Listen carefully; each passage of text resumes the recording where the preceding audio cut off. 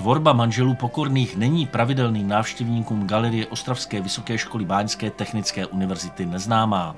Své fotografie z cest a především pak z Japonska zde vystavují už téměř pravidelně.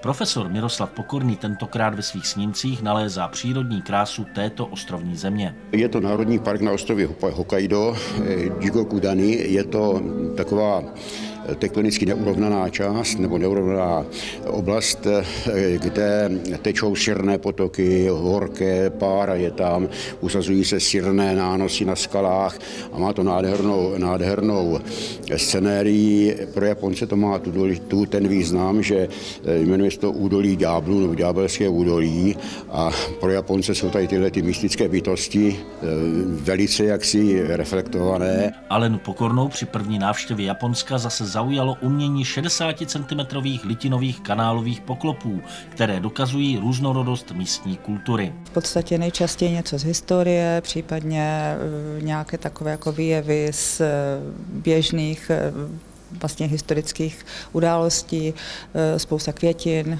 tak jako v podstatě Japonci jsou opravdu takový hodně estéti a na ten design si potrpí, takže vše, co je krásné a co jim připomíná to, co mají kolem sebe a co mají rádi.